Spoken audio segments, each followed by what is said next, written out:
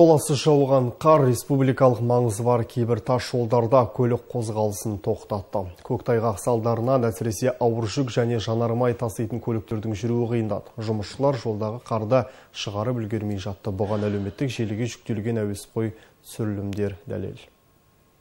Хромтауский район, трасса Самара-Шымкент. На дорожном полотне образовался гололед. Наблюдается метель. Видимость 100 метров. Мұндай әуесқой түсірілімдер әлеуметтік желіде қаптап жүр. Қалың жауған қар қала маңындағы ірі тас жолдарда айтарлықтай қиындық туғызған. Тайғақ жол әсіресе жүк көліктерінің жүрісіне кедергі болды. Салдарынан кептеліс көбейді. Хотелось бы предупредить, что помимо сегодняшнего ухудшения погоды алдағы екі күнде де дәл осындай ауа райы сақталады. Сондықтан көлік жүргізушілеріне жолда сақ болуды ескертеміз және ауа райы туралы ақпаратты жолға шықпас бұрын қадағалаған жөн.